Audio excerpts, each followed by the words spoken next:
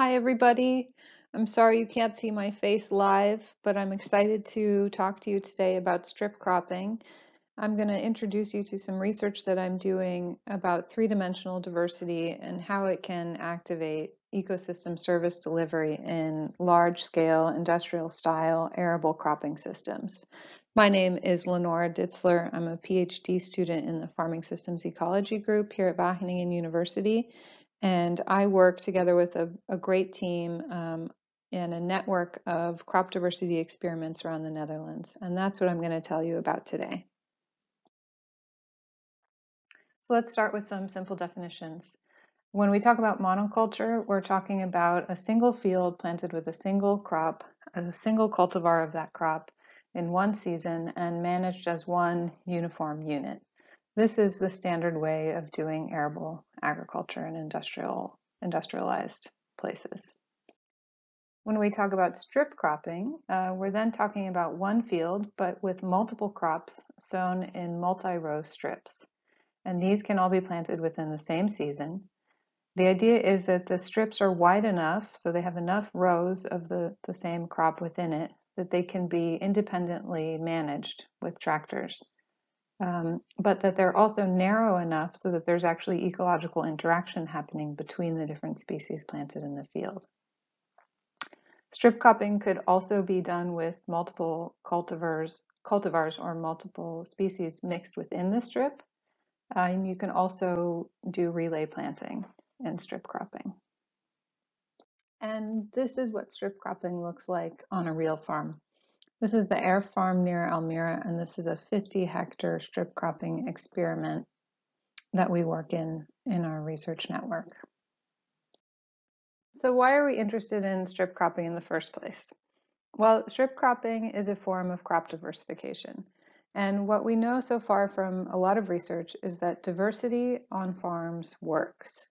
In particular, it works to deliver ecosystem services we've seen from this really nice recent study that just came out a few weeks ago a, a synthesis of um, all the ways that crop diversification can promote different ecosystem services. And one of the really nice findings from this study was that not only does diversification practices bring uh, benefits to biodiversity, pollination, pest control, etc., um, but it also does not compromise yields. So this means that farmers get a win-win when they diversify. And strip cropping is interesting because it's an accessible way of diversifying. Um, farmers can do strip cropping with the machines that they already have.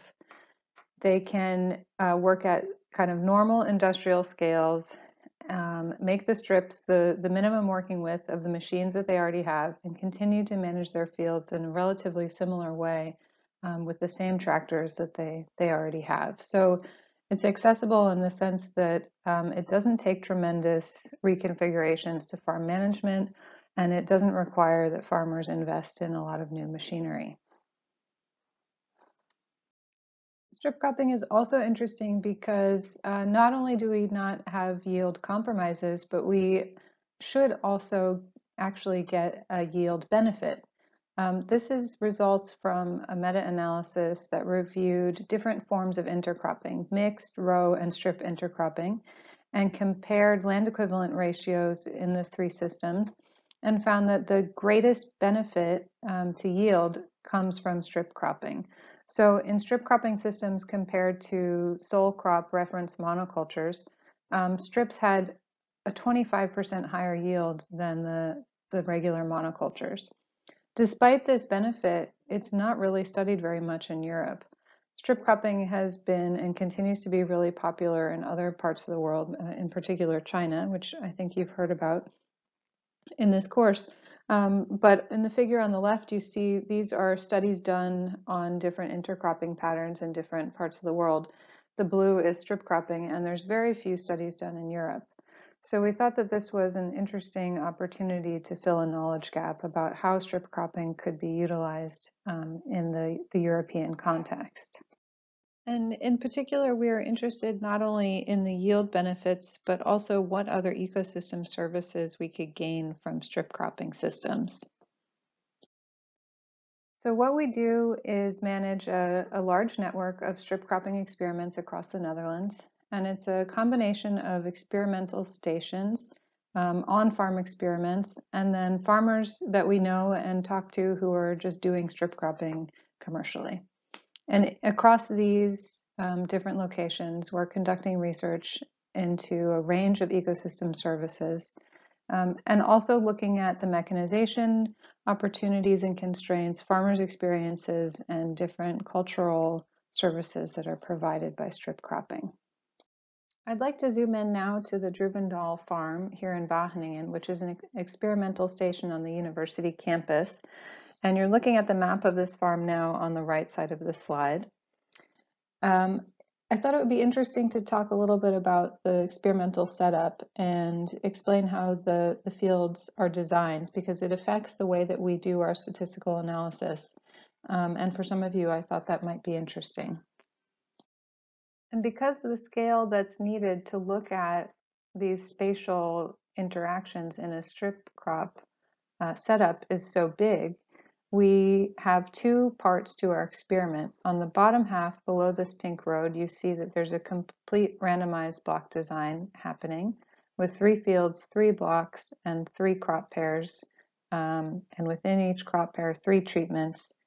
And every treatment and pair is present in every field in a random order. Um, we then want to, of course, compare this, the way the strips are performing to large-scale monocultural references. But because the space that you need for those references is so big and it doesn't fit on the, the size of our farm, um, we move those references across the road to another field where we can have the large-scale references. But this space constraint in terms of the farm size means that we can't have multiple scale references next to every strip block. So we have one reference for each of the main crops, but connected to that in the same field, we also have strips. So through these connected strips, we have a connected design which allows us to statistically compare the performance of the strips in one field to the reference monocultures, which are in a different field. Before we dive into the results of some of our strip cropping experimental work, I want to first say a bit more about this concept of three-dimensional diversity. This will come back um, as we start talking about the results. This is a conceptual framework that we developed as a way to help understand what options farmers have to diversify their fields and then what uh, mechanisms those options activate in their in their farms and how they can affect ecosystem service delivery. So as a farmer with a simple rotation of one or two crops in your fields over the years, you have basically three options to diversify. The first is in time through temporal diversification, and this is practiced as a crop rotation. This is the most common way that farmers use diversity. Rotations are useful because they, they break cycles of diseases and pests and they help uh, farmers avoid exhausting their soil of nutrients, which could happen by planting the same thing over and over again. Another option to diversify is spatial diversity, which you can do in the field within the same season, for example, through strip cropping, where you make spatially explicit areas of two or more crops that are growing at the same time in the same field. And it doesn't necessarily have to be done in strips like this. You could also make pixels or hexagons or whatever. Um, but the idea is that you enhance the interaction between species by creating more borders between them. And in doing so, hopefully you also enhance complementarity and facilitation between those species. Um, spatial diversification is also good for uh, host dilution and creating barrier effects that can enhance um, pest control and natural enemy abundance. The third dimension is genetic diversity, which you can do by sowing mixtures um, of either species or crops as if it were one, um, one crop. So mixing up two or three species and sowing them all together evenly throughout the field. And this basically creates spatial diversity, but on a plant-plant level. And here you have similar effects of complementarity, facilitation, host dilution, um, barrier effects, etc., but on the plant level.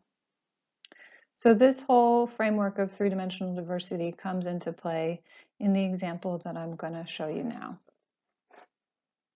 So let's get into some results.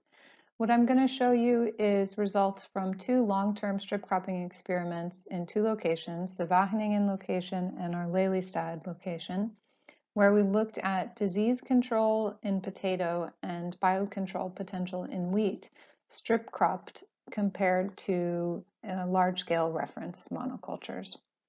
For wheat, we used pitfall trapping to capture ground-dwelling arthropods, and we identified all the natural enemies of aphids in those catches. And for potato, we monitored late blight incidence and the rate of disease spread. And we did this in three different treatments, which I'll refer to in the next slides. The first is the reference, which is the large-scale monocultures of each wheat and potato.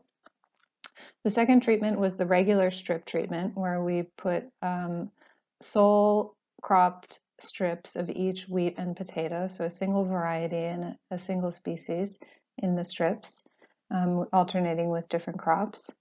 And then the strip mix treatment, in which we added the genetic diversity, we mixed within the strip. Um, so for wheat, that was a combination of wheat and fava mixed together in strips.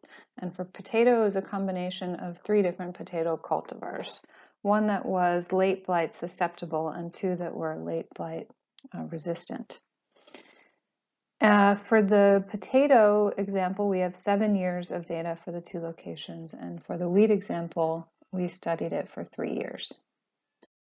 Basically, what we wanted to know was whether the stacking of diversity measures, so first the spatial diversity of the strip and then the added genetic diversity of the mixing within the strip, if this multiplied uh, diversity dimension would bring more ecosystem services.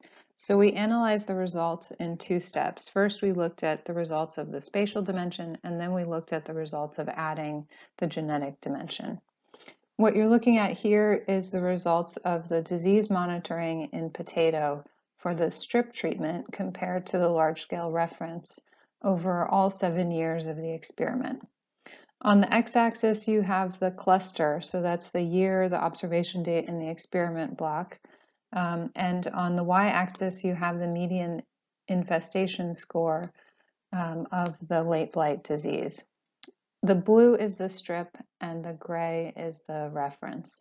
And the main message here is that we see that the scores for disease incidence in the strips are almost always lower than they are in the reference within the same cluster. So that means at any moment, if you went out to a block and you counted the number of infected leaflets on a strip, uh, that it was statistically likely that you would have a lower disease in the strip than in the corresponding reference monoculture. There was only one instance in one cluster where the strip had a higher disease incidence than in the reference. We then looked at the effect of adding genetic diversity within the spatial, spatially diverse arrangement of the strips by introducing the different varieties of potato into the strip. And we looked at the rate of disease spread um, over the season within the different treatment plots. What you see in the figure on the bottom, the large figure, is the days since first observed infection on the x-axis and the sum of the infected leaflets per, per meter squared in each of the treatment plots on the y-axis. And you can see a really clear trend moving from left to right. You have the, the large-scale monoculture reference plots in gray on the far left and the, the mixed strip plots on the far right. And the the rate of disease spread in these mixed strips is slower than in the reference and in the regular strips. And here um, we see evidence that there is added value to increasing the diversity within an already diverse spatial arrangement. Now we're looking at the results from the pitfall trapping, where we assessed the, the abundance and diversity of ground dwelling natural enemies of wheat. This is the total catch of the different natural enemy groups across the three years of the experiment. And uh, you see the reference in gray, the strip treatment in blue, and the, the strip mix treatment in orange. And the trend to observe here is that um, for all of the groups except one, the Pterostichus carabids, there were more um, natural enemies found in the strip and strip mix treatments than in the reference um, over the years. but that between the two strip treatments, there wasn't any significant difference to be seen. So the strips always had more than the reference, but the strip mix did not necessarily have more than the regular strip. We also looked at the diversity indexes for these um, pitfall catches, and we found a similar story, um, that the the diversity was higher. There were a greater number of um, taxonomic groups and a, a, greater evenness of those groups within the, the pitfall catches in both the strip and the strip mix treatments than in the references, but that there was no difference between um, the strip and the strip mix. So to summarize what we found in these two examples of strip cropping, for disease control in potato, we saw that the spatial diversity of the strip arrangement already had a positive impact on reducing disease incidence in the field. And we then saw that the addition of genetic diversity on top of spatial diversity through cultivar mixing within the strip added value to what we already had gained from the spatial diversity by then further reducing the spread of disease once it arrived in the strip. Um, but the findings were different for the abundance and diversity of arthropods in wheat, we saw that spatial diversity did increase the abundance and diversity of, of ground-dwelling natural enemies. However, that the addition of, of genetic diversity within the strip arrangement didn't add any extra value to the, the indexes that we were measuring. And this seems to be because um, the effects of the diversification dimensions seem to depend on the process scale and the range of movement of the organisms that we were monitoring.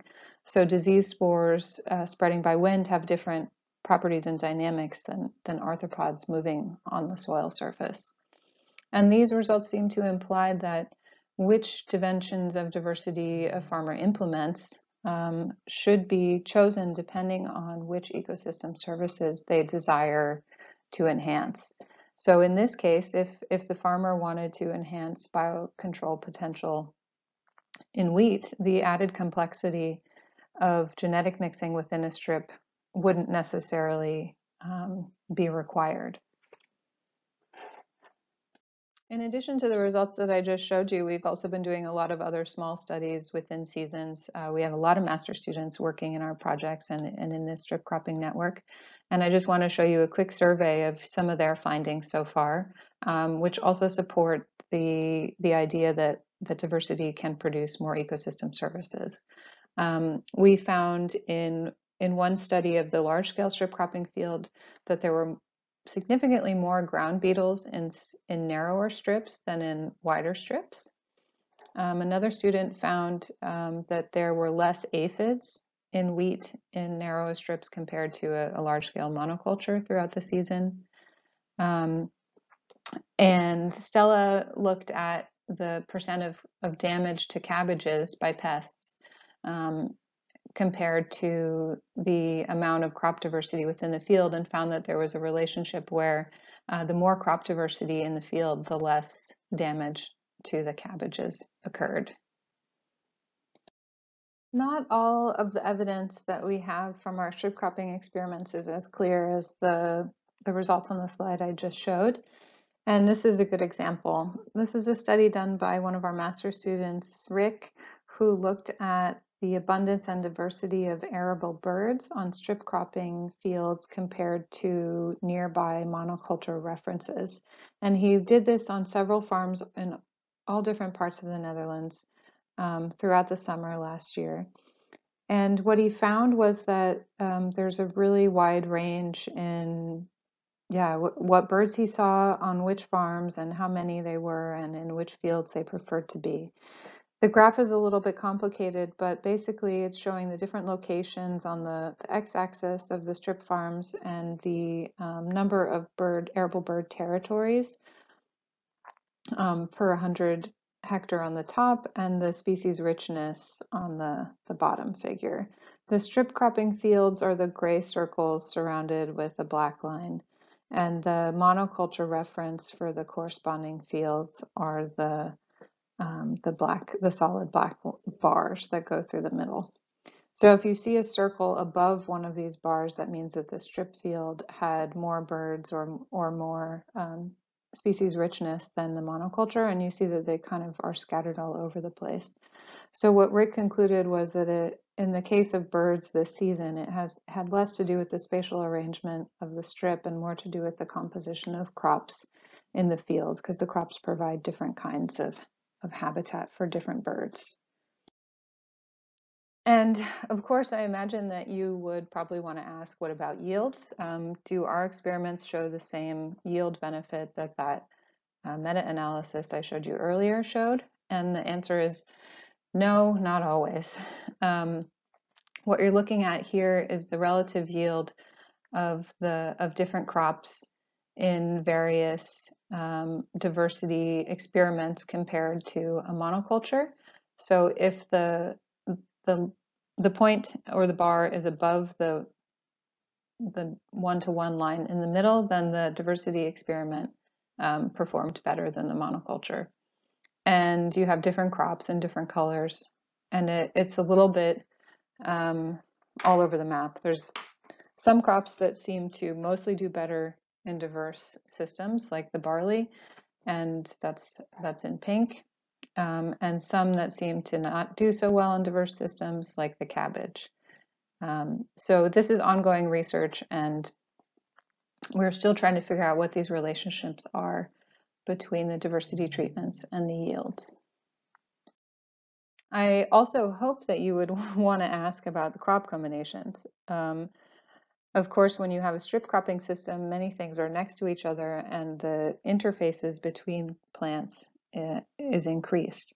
Um, so not only is there potentially more complementarity and facilitation, but there's also potentially more competition um, between species.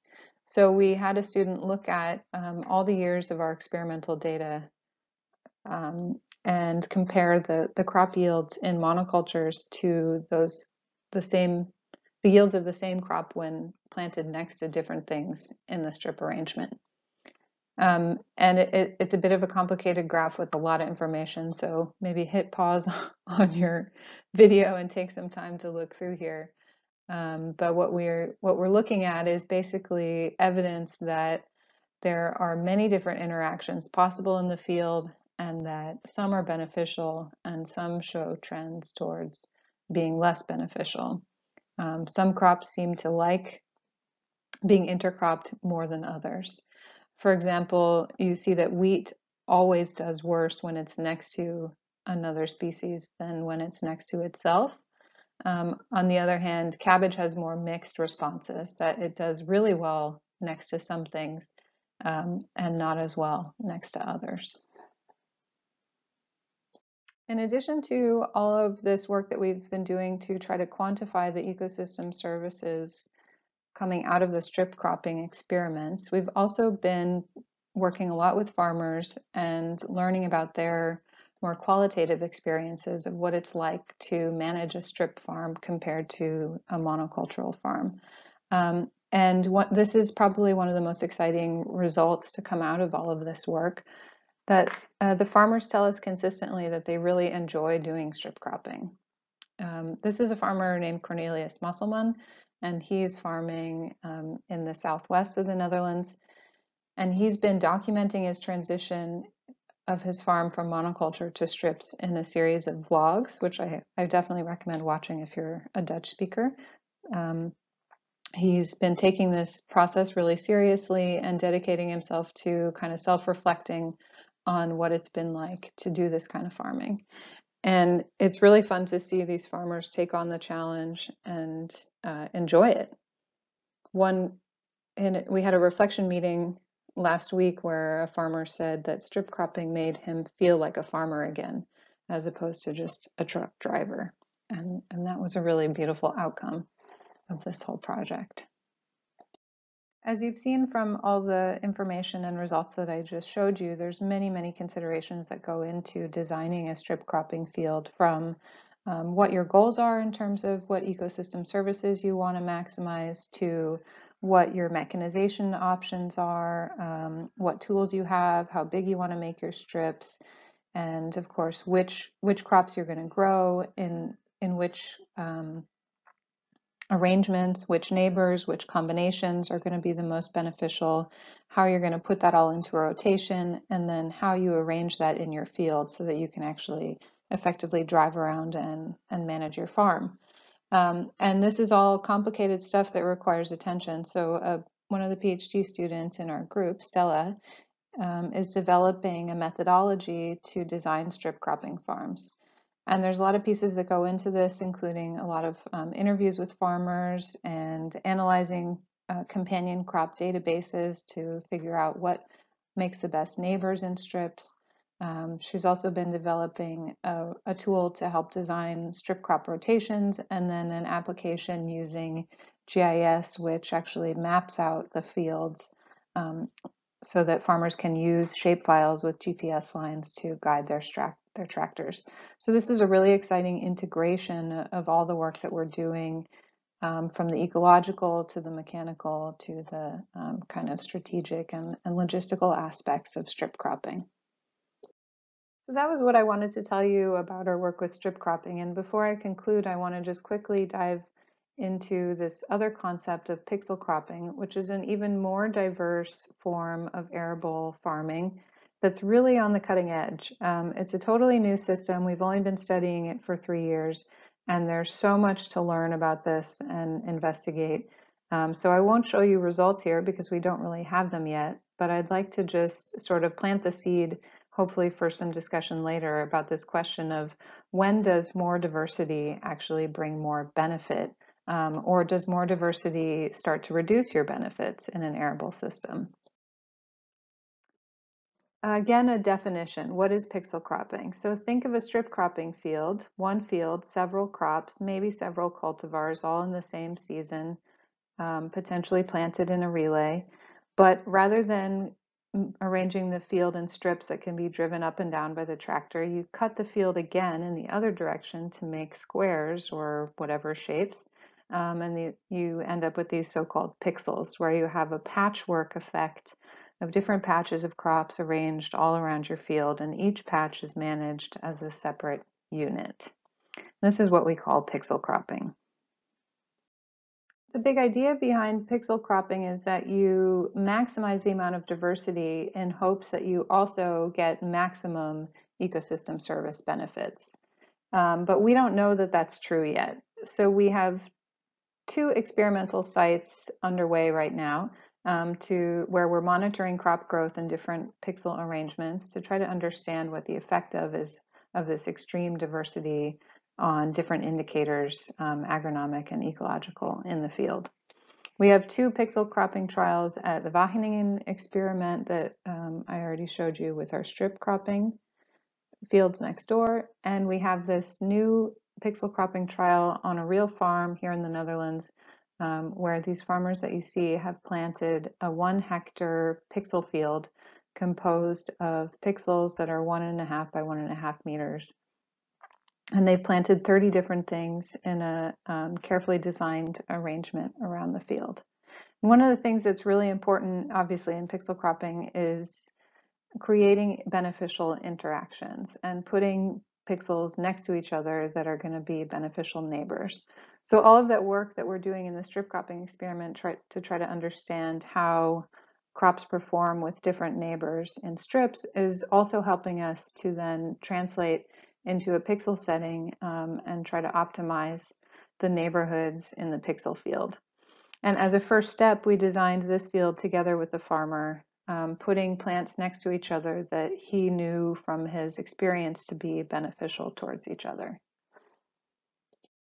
We're still in the process of analyzing the data from our pixel cropping experiments, and like in the strip cropping um, fields, we've seen a lot of variation in how plants perform in the in the pixel arrangements. Um, but one thing that was exciting this summer we saw was that on this this large scale on farm experiment, the farmer themselves told us that these were the biggest, most beautiful cabbages they'd ever grown in their lives. After 20 years of growing cabbages, something was happening in the pixels. So we currently have students who are studying the, the cabbages in, in these pixels to um, try to assess which plant neighborhoods resulted in the best cabbages and, and start to unravel what's happening in those interactions so that we can learn how to design really good pixel neighborhoods. Um, of course, part of the problem in designing good pixel farms is that there's just endless possibilities for the number of crops and, and the way you arrange them in this patchwork around the field and all the relay timing that's possible. Um, so we've been working together quite a bit with the CSA group, which you've heard from here in this course, um, to do some modeling studies of pixel cropped fields. And this allows us to simulate plant growth in a way um, and that's faster and more adaptable than actually setting up real in-field experiments. Um, and we have an interesting feedback loop happening now where we are doing in-field experiments and measuring plant traits in the real pixel crop um, plots and then taking those measurements into the, the plant simulation models and vice versa. Um, so we're learning things from the field that we can take into the models and then we play in the models um, to try out different arrangements and, and optimize different scenarios. And then we can take what we learned from the models to back to the field um, in the next iteration to help us design better experiments. The last piece that we're working on with the pixel cropping um, is the issue of technology. You can imagine that a farmer cannot use a regular tractor to manage a pixel cropped field because there's just so many small patches of different things. And in order to enable this practice to be upscaled or, or practical on any scale, really, um, some form of mechanization or even automation is going to be necessary. So we've been running different workshops and collaborations with robot developers and farm technologists and designers to try to start imagining what kinds of tools would be possible, um, what would be appropriate to make this kind of really complex farming system possible on a larger scale. And one big question we have is about the, the interaction between the technology and the ecology. So this is a farming system that's really meant to kind of mimic nature and maximize ecological interactions. But technology traditionally um, is meant to control ecological interactions um, and you know minimize variation and risk. So what we're looking at is how to alternatively design technology so that ecology is at the forefront rather than at the other way around. And that's kind of where we're going now with the pixel cropping research. So that concludes my strip and pixel cropping story for today. I would really like to thank the team that I work with on all of these experiments. Um, we talk about crop diversity and how important it is for sustainability, and I just want to put in a plug for human diversity as also being incredibly important for um, sustainability and for having a good learning experience. The work that you saw today is the result of many people's efforts over the years, um, many students, many researchers, all collaborating together with farmers around the Netherlands. Um, and it's a tremendous team that's really fun to work with. So I'd like to thank everyone who contributed to all the work that you saw today. If you want to learn more about our experiments, you can scan this QR code. It'll take you to our Strip Cropping Network webpage where you can click on um, the projects that fund us and also find the pixel cropping information. And that's it for me. Thanks very much.